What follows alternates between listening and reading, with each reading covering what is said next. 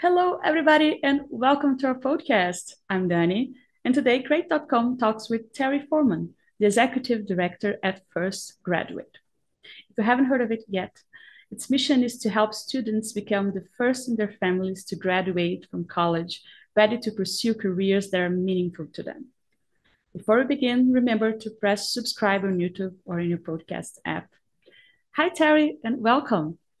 Hello, Danielle. Nice to meet you. It's nice to meet you too. Uh, I always, I, I feel like I've always said this, but every time that we talk about education, it's something that is really important to me and that I'm always happy to hear about new and different initiatives to help like uh, fill the gaps that the system still has, right? But before we go there, I very much like to know about you, about your story. How did you begin working in this? Well, I've been working with nonprofit organizations almost my entire career. And um, I, I, guess I was motivated because um, uh, when I was a kid, when I was 10 years old, we were, I grew up in Central and South America.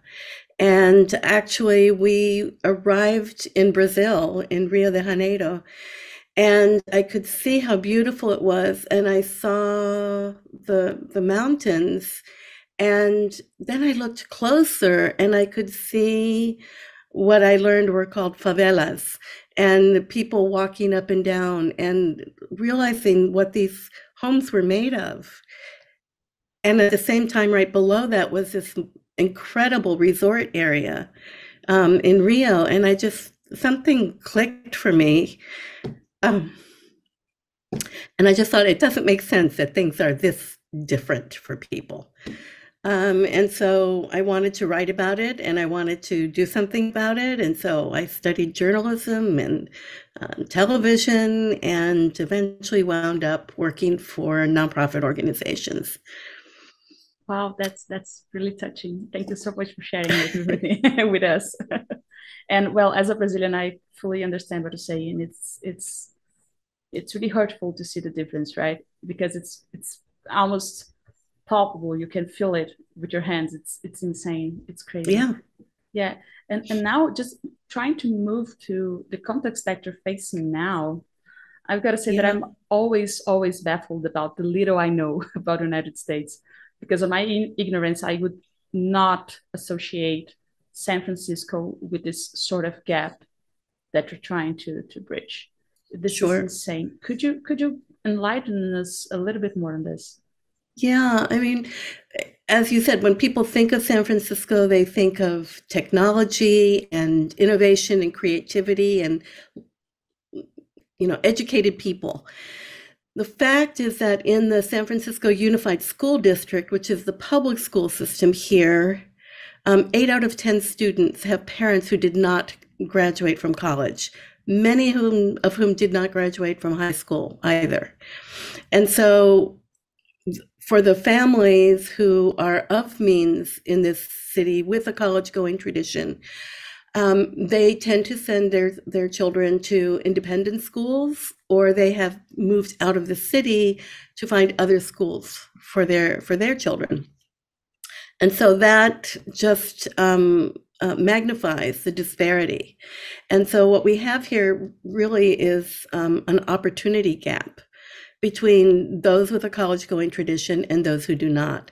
And a lot of it also is driven by zip code, unfortunately. Um, this is a city of, it's a wonderful city.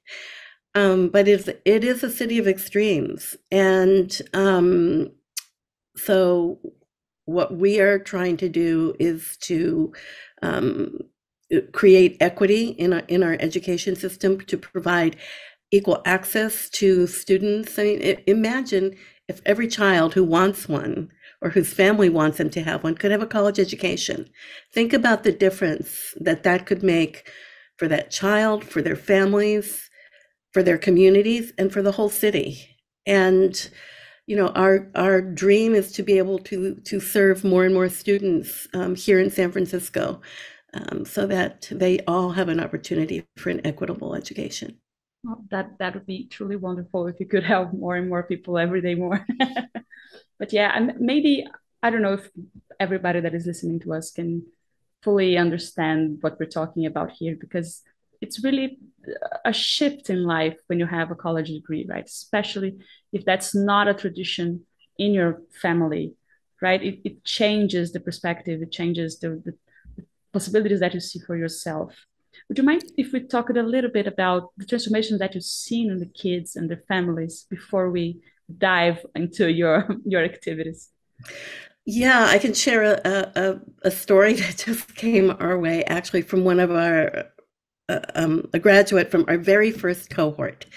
Um, he's I've had the pleasure of, of knowing him for a long time. He actually um, was part of our staff for a while um, when he graduated from college, and then he went on to um, become an advisor at one of the independent schools to try and bring more students um, like him into that school. And now he's in graduate school. But we just interviewed him for our newsletter, and he said, you know, one of the most one of the simplest yet most dramatic differences for him, besides having access to these great careers in grad school and all of these things that he wants to accomplish for himself and his family, is he was sitting watching one evening during the week, watching television with his daughters and relaxing with them. And it suddenly occurred to him that his parents never did that with him because they couldn't. They were working multiple jobs to make ends meet, to put food on the table, to keep a roof over, over his head. And he realized that it's such a, a difference in his lifestyle versus theirs. And it's all because he had access to a college education. Wow, I, I think that says it all. Absolutely. That says it all. And and now just so we can understand what exactly does first graduation uh sorry, first graduate does to help the kids. So we have a very holistic approach and we have a very long arc of working with our students. So we call it recruitment for lack of a better word, but we recruit them in sixth grade and we stay with them through college graduation and into their early careers. We also work with um, their families or caregivers to help them have the support they need to understand how to best help their their their youth to stay on this path and and accomplish their dream. And so we provide everything for these children, these youth that a college going uh, uh, that a family with a college going tradition would provide for their students. So um, it's everything from um, tutoring, uh, college, um, sorry, after school homework, um, mentoring. We provide career exposure from the earliest ages. Uh, we visit companies. We have panels of of um, employees of those companies talk to our students about what they studied, how they got there. Usually, first generation students themselves. Um, we help uh, with the high school application process because in San Francisco you have to apply to high schools, which is unusual. we also help students every step of the way under learning about colleges with their and their college applications. We help their families complete the financial aid forms, FAFSA forms. Uh, we help them find scholarships. We also help um, students find paid internships in high school and in college. And we partner with a lot of other organizations to make that happen and a lot of our partner companies as well one of the big one of the big issues is um, frequently students will have to make a decision about accepting a paid job in a service industry. Not that there's anything wrong with that but they might have a choice between you know flipping burgers to make money over the summer versus accepting an unpaid internship in in their career field. And they have to help their their families um, economically. And so then they become even more disadvantaged with their peers because they haven't had those internships, which help move them forward and make them better job candidates. And so that's why we're working very hard to develop um, paid internships um, for them. Um, and then we have we have um, some programs that help our students when they're in college We have a year long mentorship program called Coach 3.0, which helps our students maintain at least a, a 3.0 average and also provides um, social and emotional support.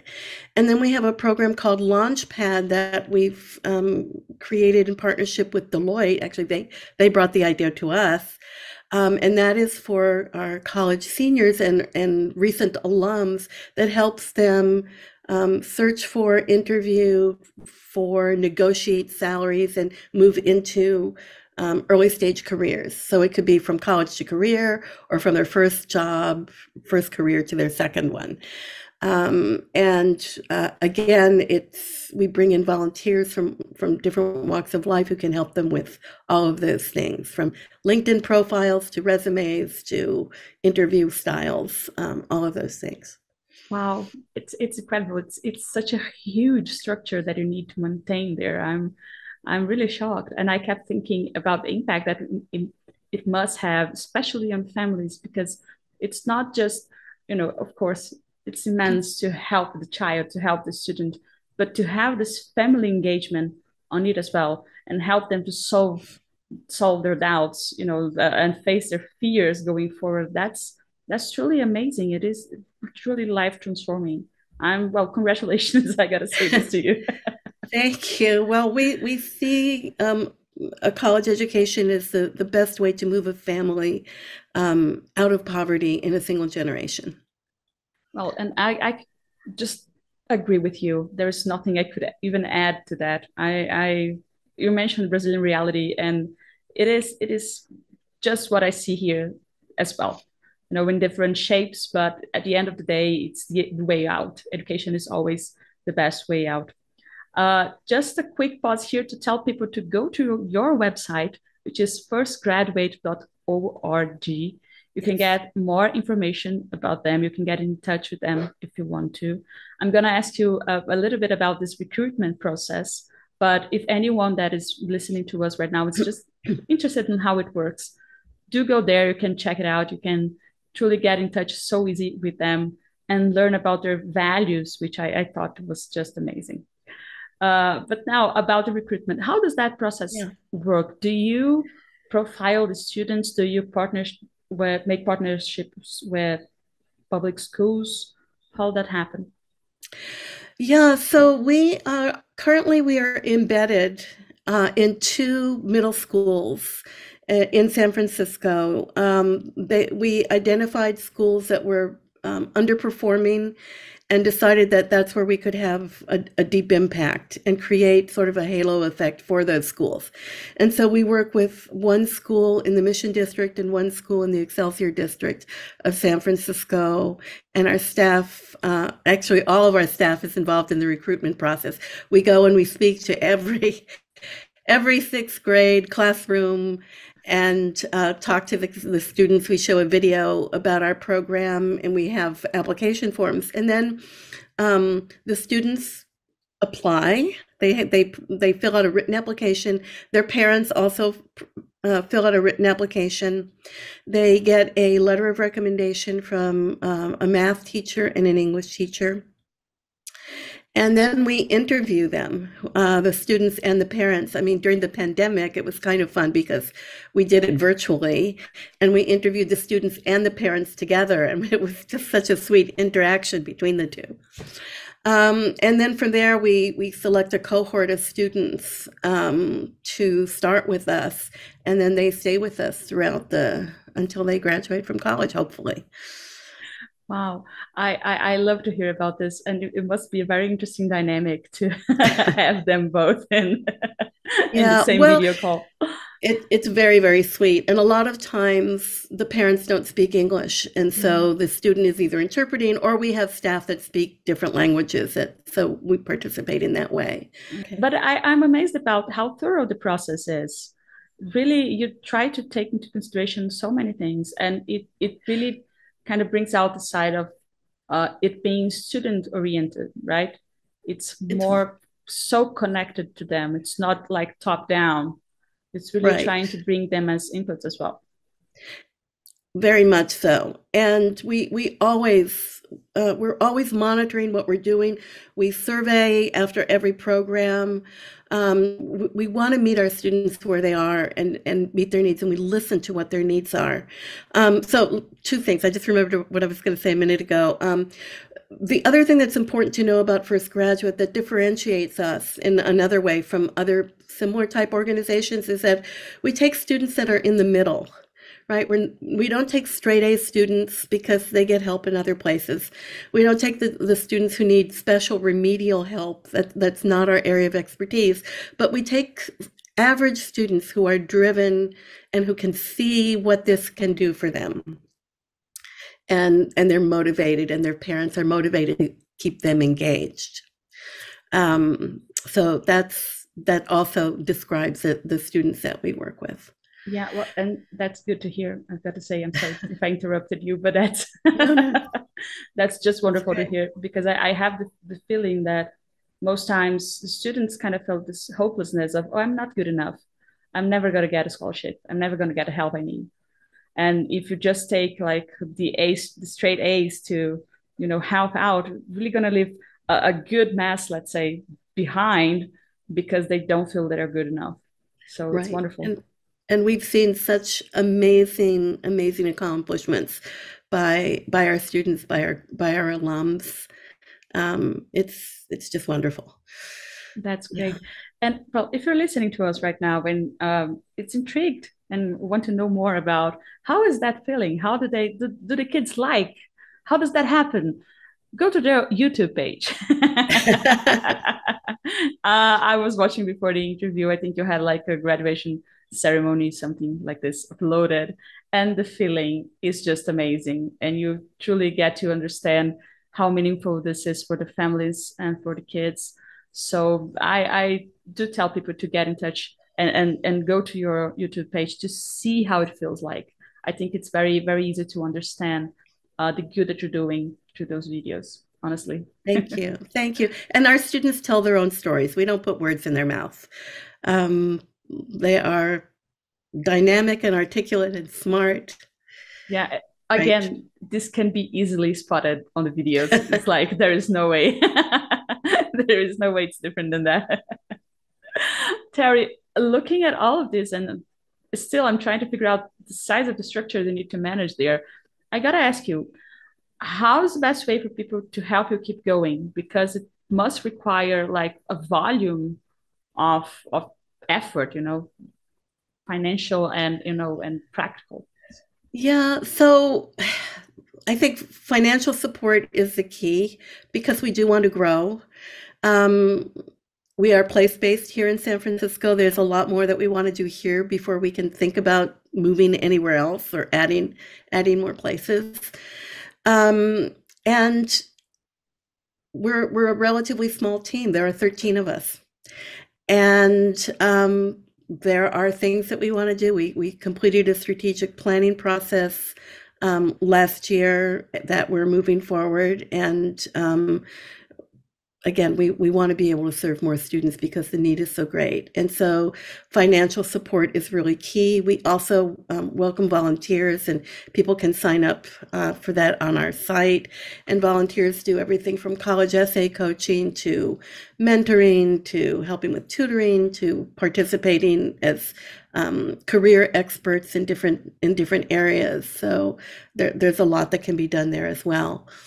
Um, but you know the needs are always changing and certainly during the last couple of years with the pandemic uh, again going back to listening to our students needs it became apparent very early on that our students who now had to do their education and their work with us extra work virtually many of them did not have access to technology at home.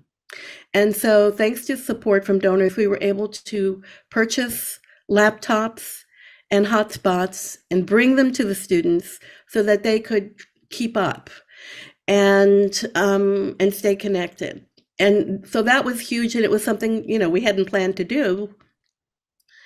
Um, but we're doing it now, and we recognize that need, and so we're always on the on the lookout for for laptops and hotspots, so that we can make sure that as we bring in new cohorts, that you know, ideally, we'd be able to give every every student a laptop, and that would that would be fabulous. So then they wouldn't have to worry about that, right? Just one initial barrier out of the way, um, and let them focus on learning and and um, you know starting their futures. Absolutely, just growing, right? It's, yeah, it's important exactly. to have room to grow. Yeah, and exactly. I absolutely encourage people again to donate, to get in touch. If you're in San Francisco, see if there's anything that you can do and you know help them out. If you're not, donations, as Terry said, are absolutely welcome. It doesn't have to be a lot. A dollar goes a long way, right? Absolutely, absolutely. And, you know, the, the money goes to, um, well, our staff is our program. So, yes, it does go to salaries. And that's so important. Uh, without our staff, there would be no program. uh, and our staff is amazing. We have an amazing team. We have we also have nine interns right now, all of whom are also first generation college grads. Our, our staff are, are primarily first generation college grads um, a good percent of our board, more than more than half of our board, are also first generation college grads and our associate board. Um, so it's very important that that our students have really positive role models who understand their experience and have been through it. And you know, we listen to them. So another thing that that that came up during the pandemic is students, you know, are getting disaffected because it's very hard to be online all day and then do more work in the evening and on top of homework and everything else. And so students were asking for homework help, for tutoring, and we've now been able to provide those things. And we continue to listen to what is it that you need right now to stay involved, to stay connected, to stay in school, and to and to move forward and to get to college. And so we, we also take our students to visit colleges. We have a trip planned in the spring to take um, students on a tour of um, colleges in Southern California. Uh, we, we take them to visit schools up here in Northern California.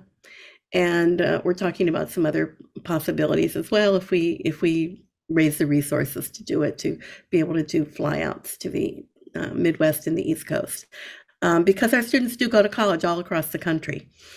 And um, so we want to, we, we help, we also help them select colleges based on a lot of factors. One is we, we want them to graduate with as low a debt load as possible, but we also want them to find the right fit um, so that they're comfortable on their campuses. Um, as first generation students, they're always first gen.